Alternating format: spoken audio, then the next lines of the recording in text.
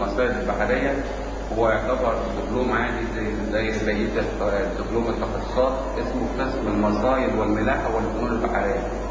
وهو عبارة عن ثلاث سنوات. في سنة أولى بيتم برضه تعليم المنهج سير فن بحر إشارة وبيطلع في سنة ثانية بيتعمق في الثلاث مواد. برضه سير فن بحر إشارة يطلع في الصف الثالث بيكمل الثلاث مواد بس بالتركيز وبيطلع على مركز المدرسة بيطبق الكلام اللي بياخده في الورشة عملي. وبالنسبة للدبلوم بياخد الدبلوم الطالب وبيبقى في مزايا كتيرة قوي بالنسبة لقسم المصايف اللي هو بياخد شهادة تدخله القوات البحرية في الجيش زائد اللي هو ممكن يعمل باسبور بحري بيساعده في عملية الشغل في البحر. وبناء عليه ممكن يكمل ويوصل بعد كده لضابط اول أو ضابط ثاني أو ضابط ثالث ويشتغل في البحر. ممكن يدرس ممكن يوصل لربان سفينة.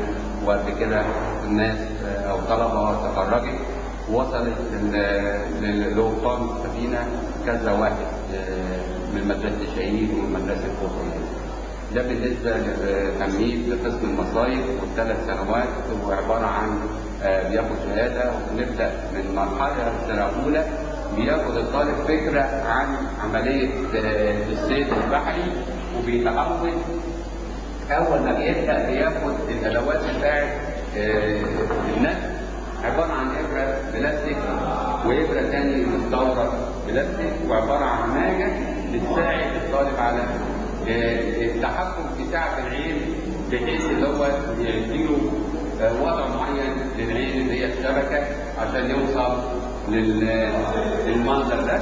هو ده تمرين طالب سنه اولى لسه السنة دي بقاله شهرين اهوت اتعلم يعمل الباليه وفي نفس الوقت ينتج عبارة عن عقد جامدة اهيت والماجه اللي هي ديت بتحدد سعه العين ديت ممكن ماجة أكبر تديني عين أكبر ممكن ماجة أصغر تديني عين أصغر.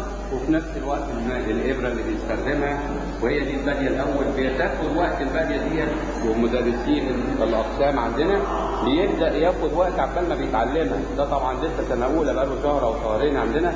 اللي ممكن في سنة ثانية بيبقى أحسن من كده وثالثة بيبقى أحسن من كده. هي المهم عنده البادية دي يبدأ ينتج عليها.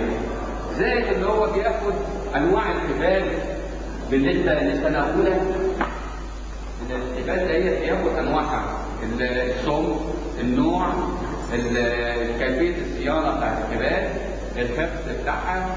عشان لما بيطلع في سنة ثانية يقدر يتعود عليها ويعمل العقد بتاعتها وبيستخدمها في عملية الرباط والتجريد. يبقى بنبدأ معاه من السنة الاولى إيه مكونات الحبل. إيه طريقه الجد بتاعته يمين ويمين يسار آه إزاي يوصل حبل مع حبل إزاي يعمل عملية التفريغ وبعد كده بيبدأ ياخد يعرف الصيانة والكشف بتاع الحبال باستمرار. ده بالنسبة للسير. بياخد بادية متحركة زي دي وبعد كده بيكمل بادية ثابتة تاني في آخر السنة. وبعدين بنبدأ معاه سنة ثالثه في آخر سنة أولى زي دي بتتقطع. وبيبدا يرقعها ويرجعها تاني كانت. ده التمرين ده آخر السنة بالنسبة للسنة الأولى. ده بالنسبة للصيف. باديه ثابته باديه متحركه نقل ترقيع؟ وبعدين بنبدأ معاه في عملية موجود عبارة عن إعلان إشارة وسيلة من وسائل الإشارة البحرية اللي هو بنسميه السيمافور وبالأول بياخد أهمية الإشارة وكيفيه الارسال والاستقبال بين المراكب مع بعضها والأفراد مع بعضها. ودي عبارة عن دوائر معينة بيقف وضع معين. بيقف وضع معين وبياخد زوايا معينة بحيث كل وضع منهم بيبقى إيه؟ بعرض. يعني أنا بعتبر وقت الاستعدادي الطالب بيتعلمها في سنه اولى كل ده منهج سنه اولى يقف عدل ويقف وقت الاستعداد وياخد بقى المدرس عن طريق مدرسين اكفاء في الفصل يعرفوا مثلا كده ألف كده ب كده ج كده ح كده خ كده د كده ز وهكذا لعدد حروف الحروف الأبجدية بحيث لما بيتعود ويحفظ الحروف ممكن أي كلمة يبدأ يرسمها أو يستقبلها وبعدين لما بيعرف الكلمة ويستقبلها ويرسمها ممكن يكمل الكلمات لجمل ومن الجمل يعرف المعنى يبدأ يرسم للمركب أو مركب ثانية أو مركب أو أشخاص أو أفراد لأن المسافة بتبقى بعيده وده من أول وسيلة لكيفيه الإرسال والاستقبال هي الإشارة. طبعا ده بالنسبة لسنه اولى لما نوصل لمنهج سنة ثانية هنبص نلاقي الاشاره ليها تكملة وياخدوا في سنة ثانية وفي تكملة في سنة ثالثه ده بالنسبة لماده الاشاره البحريه وليه كراسة وبيرسم السيمافور والدوائر بزوايا معينة وبيتعود عليها وبيمتحن فيها الطالب بحيث يوصل لاخر السنة يجمع كلمات ويجمع ويجمع جمل ويرسم كلمات ويرسم جمل. بنيجي المنهج سنه ثالثه أولى برضه بياخد حاجة زي العقد البحريه اللي هي ماده الفن بحر بياخد حبل سيده وبياخد عن طريق الواير وبيتعلم العقد البحرية. يعني أنا كمدرس بيعلمه إزاي يبدأ يعمل عقد بحرية. 15 عقدة هم وليكن مثلا أول عقدة بياخدها اللي هي النص عقدة دي ودي بتستخدم في معظم العقد البحرية. بياخدها ويعرف استخدامها وبيرسمها ويتدرب عليها. ونقول له فوق يفوق ياخد ثاني عقدة مثلا اللي هي وتر نفرد عبارة عن نص عقدة زي الاولانيه اللي خدها. ونص عقده ثاني يعتبر كده وتر نفرد تستخدم في إيه؟ بتستخدم في توصيل حبل بحبل اخر ويرسمها الطالب وبياخد معناها واستخدامها ويسأل عليها كل شوية باستمرار على أساس إن العقد البحرية مهمة ما ينساهاش خالص. لو فكينا ديت وعايز اديله واحدة ثالثة برضك بنقول له فك الحبل ويبدأ العقدة الثالثة اللي هي عبارة عن وتد مجوز بنقول له لف لفة الأول من ناحية الشمال وياخد النص عقدة اللي عملها في الأول كده أهوت من ناحية اليمين يبقى كده عامل وتد مجوز.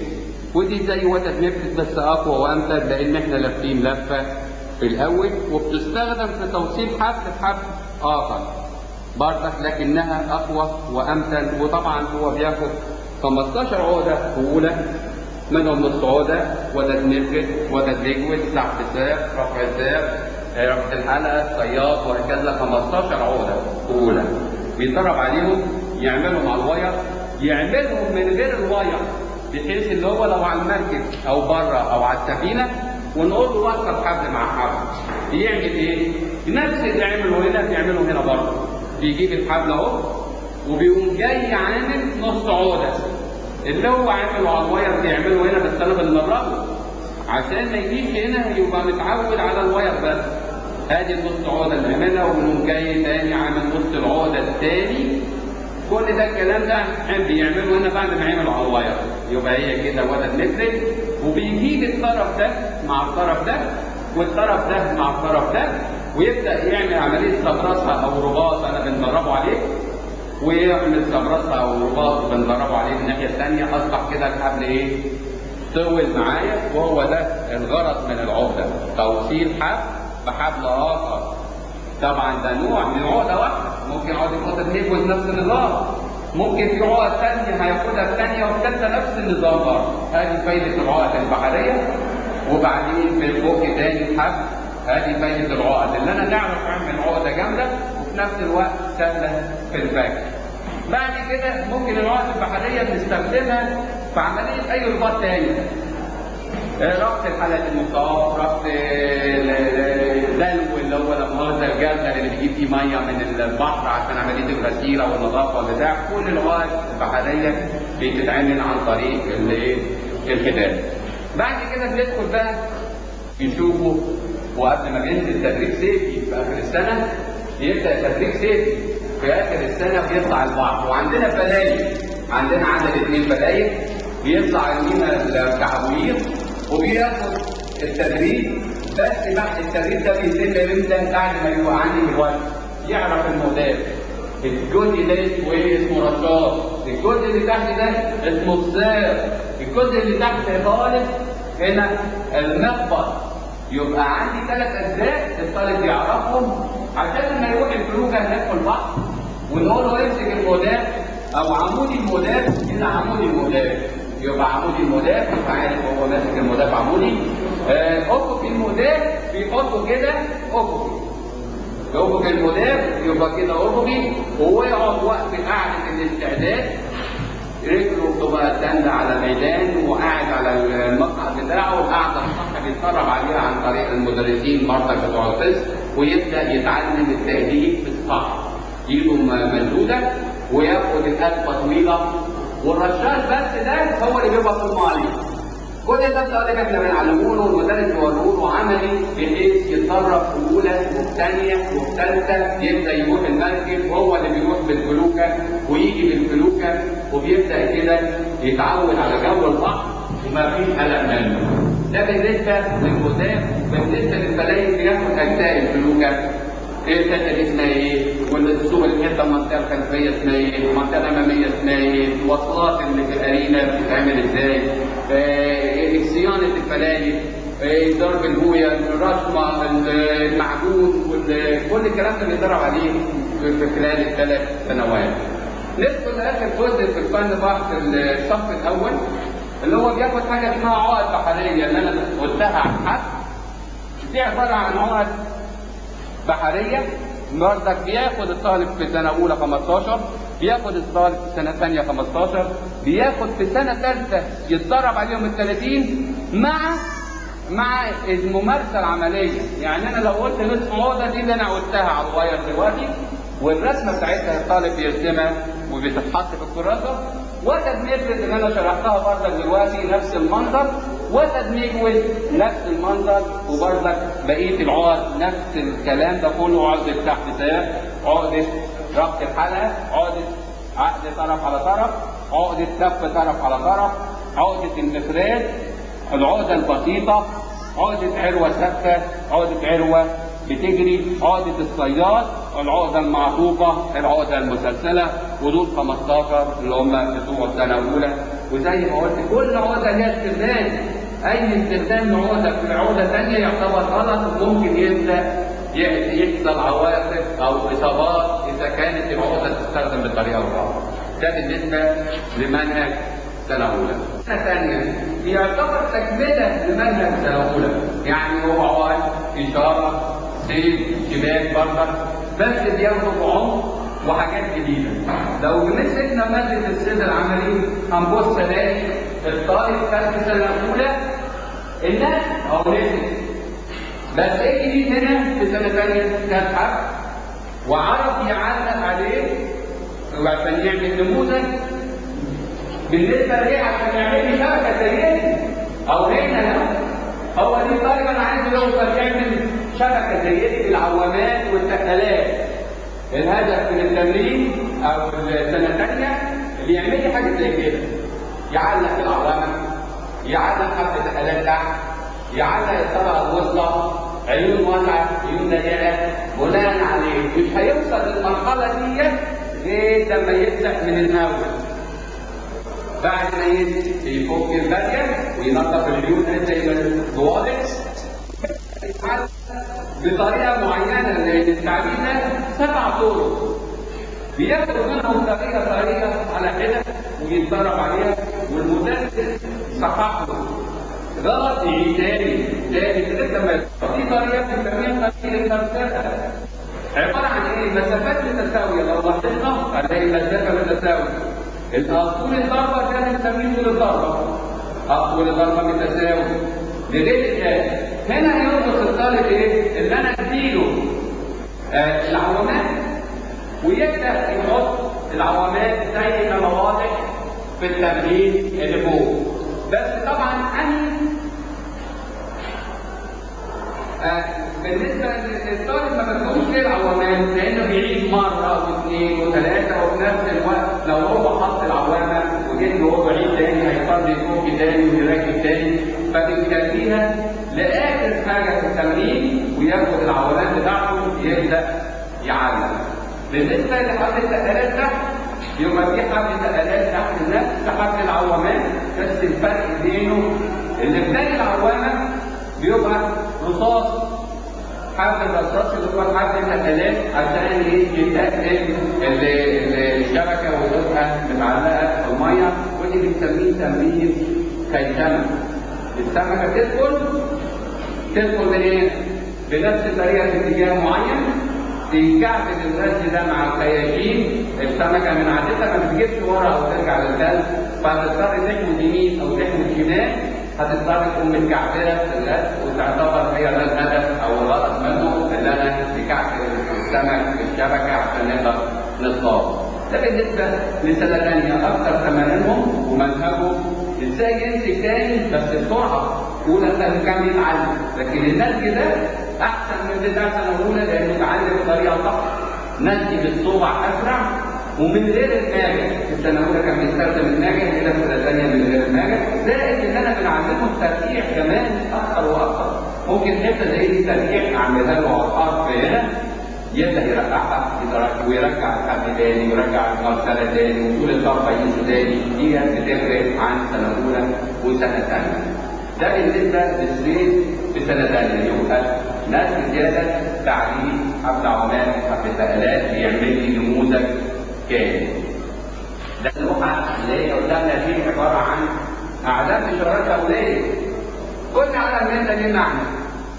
يعني العلم الأولاني أغير اتجاهي إلى جهة اليمين العلم مثلا ده أغير اتجاهي إلى جهة اليسار الطالب بيعرف نوع العلم والحرف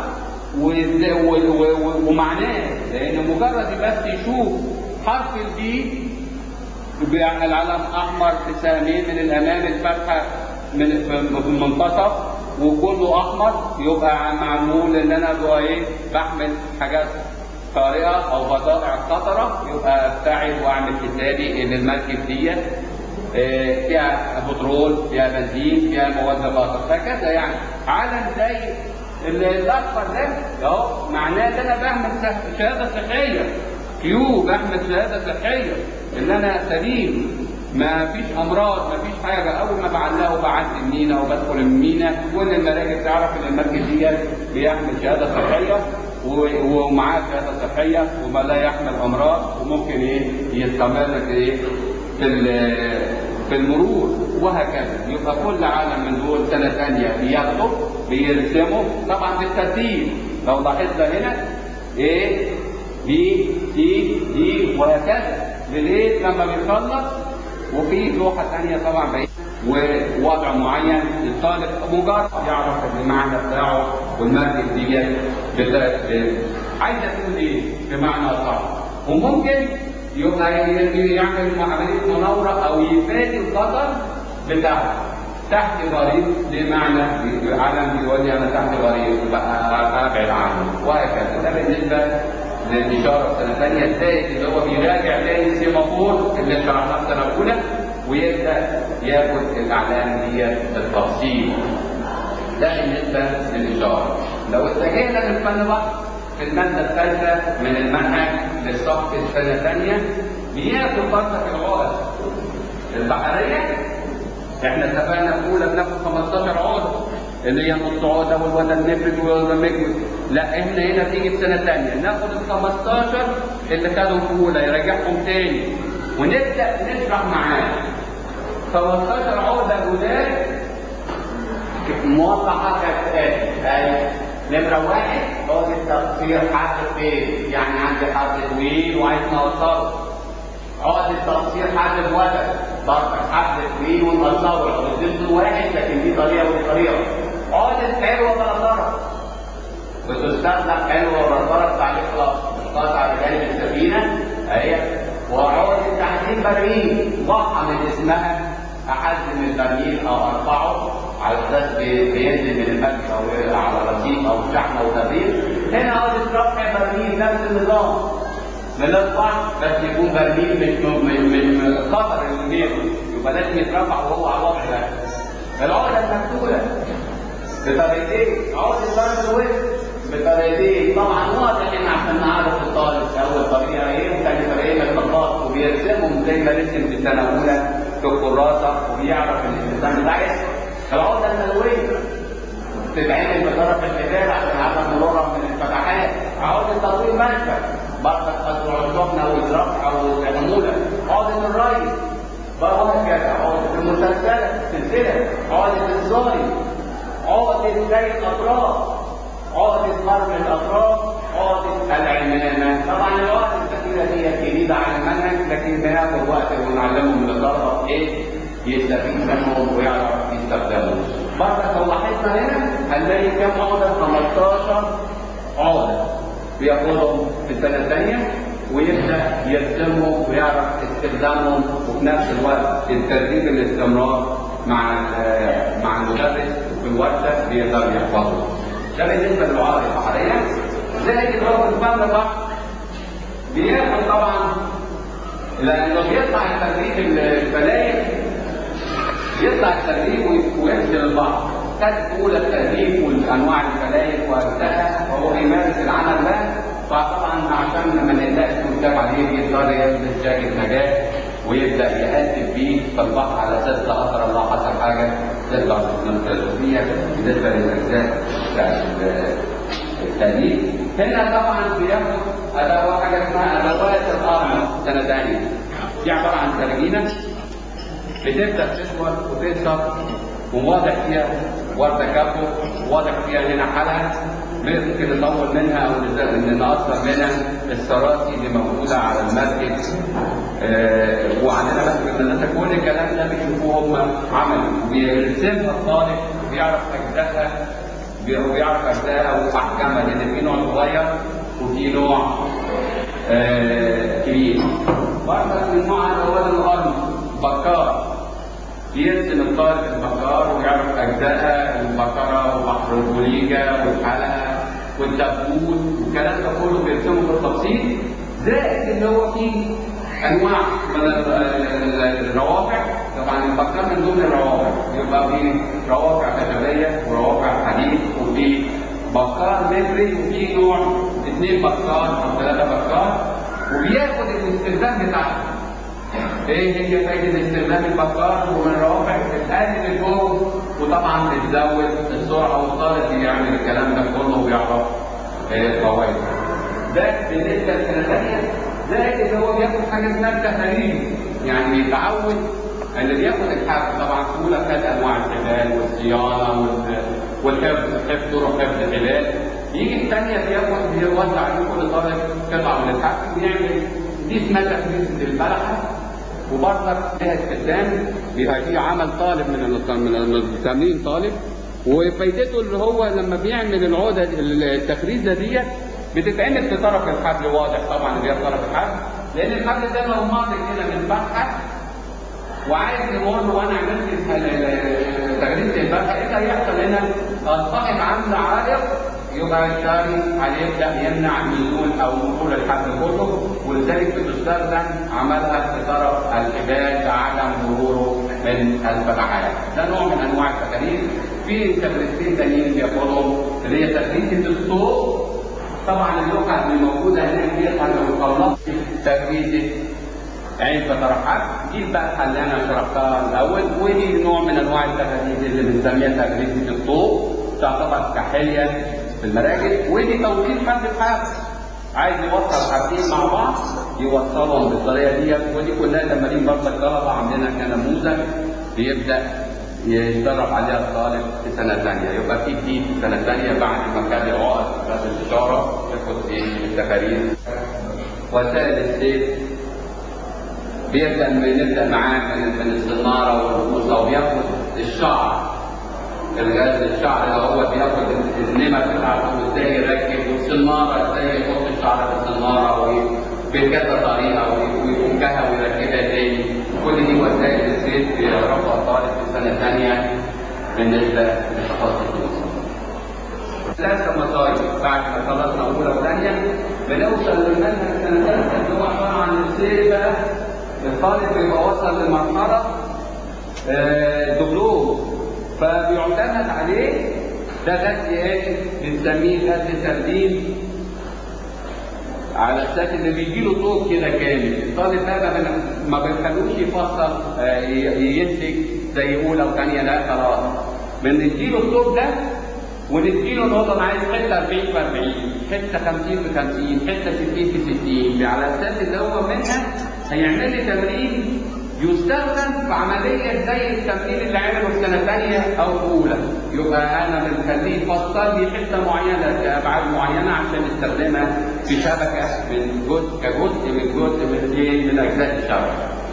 آه، الطالب بنعلمه الأول عملية القطع التسوية لأن هنا الرسم لازم يكون العيون كلها متساوية كده زي ما هو واضح طبعا هنا. وبعد ما بيساوي بردك بيساوي رأسي. بعد ما سوينا افقي كده بيساوي رأسي كده. بحيث الحته تطلع لي زي ما أنا قايل له الأبعاد بالظبط واضح طبعا ده كله غزل آلي. العيون متساوية الأضلاع متساوية. بعد ما بياخد القطعه بيبدأ يعملها لي تمرين زي ما موجود على السبوره كده.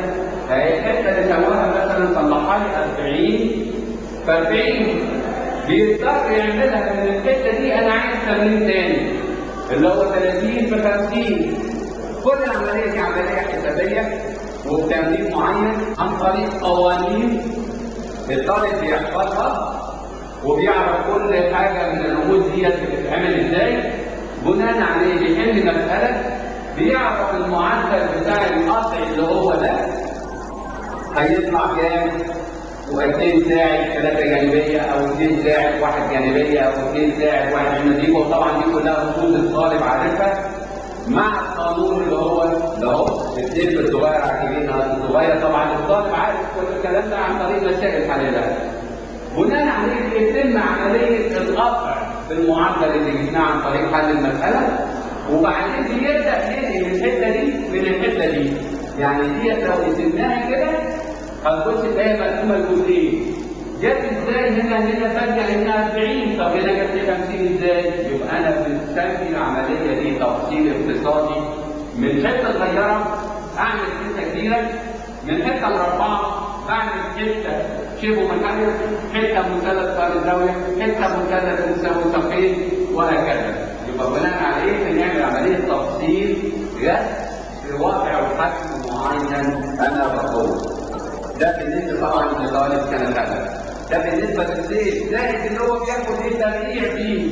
يراجع زي ما وضحنا في سنة ثانية زائد اللي هو بياخد تعليم يعلق على حبل عمان وحبل ثلاث زي ما وضحنا في سنة ثانية طبعا بيزيد بقى بعد كده التكاليف. بيوقفوا التكاليف بالنسبة لماده فن بعض بياخد أنواع التكاليف اللي خدناها في أولى أو ثانية تاني. بالتفصيل. يعني إيه؟ ما بياخدش حتة واحدة. يعني ده طالب سنة ثانية هنا ما بيعرفش يحط الورده كابو اللي هي دي لا ده طالب سنة ثانية ياخد الورده كابو ويبدأ يفرزها مرة واثنين وثلاثة لحد رفيع. مرة بياخدها بحد تقيل وهكذا ويتعود عليها. لغاية لما نوصل معاه لعمل تفريزه حد سلك أدي تفريز الطالب برضه. عبارة عن إيه؟ ست امور وبيجي له التمرين حتة زي الزميل طبعا إحنا قاطعينها. ده تمرين طالب يبقى واخده كده من غير أي حاجة خالص. عبارة عن آه 6 مللي أو 8 مللي طبعا عشان هم طلبة لكن الطريقة واحد لو هو طلع واشتغل على البحر وطلع على المراكب. لو wire في فيل اتخن من ده سمكه اتخن هينفذ الطريقة اللي هو اتعلمها هنا ويبدأ يعمل عملية التركيب. طبعا الوسائل اللي بنستخدمها عبارة عن منجلة حديد.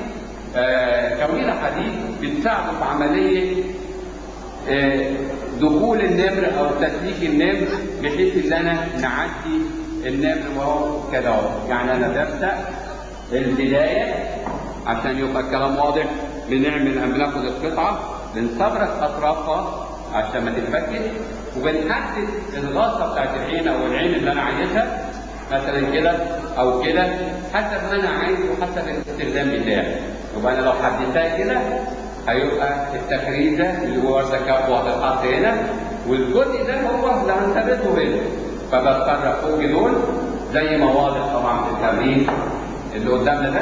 دولت بيبقوا ست نمور صغيرين أهو وبتبدأ عملية التغريف بطريقة معينة للطالب. كل طالب على حده ويعدي النمر الأولاني من تحت اثنين والنمر الثاني من بين الاثنين وهكذا كل واحد تحت واحد من اليمين للشمال من اليمين للشمال ديت عبارة عن ثلاث تفريزات. طبعا تكفينا بكده لأن خلاص ملوش لازمة تاني. هي كده بقت جامدة وعمرها ما هتتفك. لكن ممكن الطالب يكمل لغاية الآخر. وبعدين بيتصرف بسط العين كحلية من الحليات لأن مفيش وقت تكبر وهنا قبسه الأطراف لأن بيتفك. عشان تبقى جامده وبيعتبر كده تمرين واضح جدا للطالب وده بيجي له في امتحانات الدبلوم. ده بالنسبة للتدريس سنة ثالثه إزاي العقد البحرية بي- بياخدها بالتفصيل أولى وثانيه خدهم ياخدهم تاني ثالثه زي اللي هو بيعملها بقى wire أديله حد بديله حبل على مطاط مثلا زي دي. ويعمل لي ال- ال- العقد. لو الضغط هنا بقول تعالى ويفكها ويعملها يبقى كلام عملي اكنه في البحر بالظبط. ولو طلع المركب أو الفلايك بيتم عملية ال- ال- عمل العقدة عملي. تطبق كل الكلام عملي. زي اللي هو بعد كده هو بياخد آه، أدوات الارمه تاني. زي ما راح اولى وثانيه بياخدهم بالتفصيل برضه والصيانة بتاعتهم. وأنواع المخاطيف زي ما ذكرت ده نوع من المخاط بياخد أنواع المخاطيف من ده من ضمن أدوات الارمه وأنواعهم وازاي بيستخدموا والصيانة وتركيب الجنزير عن طريق الاقبال البحرية. ويبدا يستخدم الكلام ده كله عملي؟ ده بالنسبة الثالثه ويطلع على مركب المدرسة. كل الكلام اللي قلناه في أولى والثانيه والثالثه بيطبق على مركب المدرسة. بداية من عملية التاليف يطلع من المركب ياخد الكود اللي خده اولى وثانيه عقد بحرية تفاريغ أجهزة ملاحيه إشارة أنوار آه، رمي شباك لم الشباك ترجيع تعليق كل اللي بياخدوا في سنه اولى وثانيه بيمارسوا على مركب المدرسة وبيشوفوا بعينيهم ويعيشوا العيشة البحرية وبناء عليه هو الهدف المطلوب من آه، المنهج بتاع اولى وثانيه وثالثه والتخصص آه، بتاعها.